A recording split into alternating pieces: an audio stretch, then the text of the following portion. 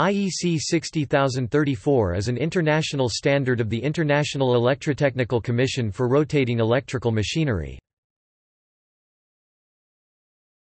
Part 30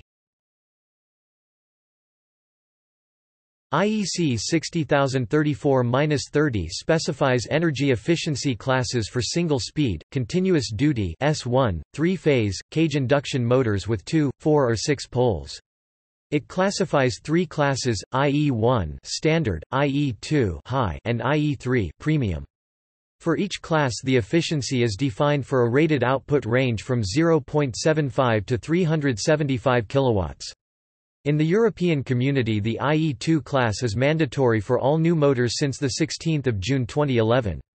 The IE3 class will be mandatory from 1 January 2015 7.5 to 375 kilowatts and 1 January 2017 0.75 to 375 kilowatts.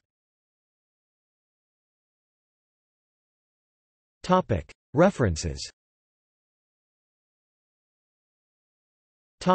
External links IEC 60034 at International Electrotechnical Commission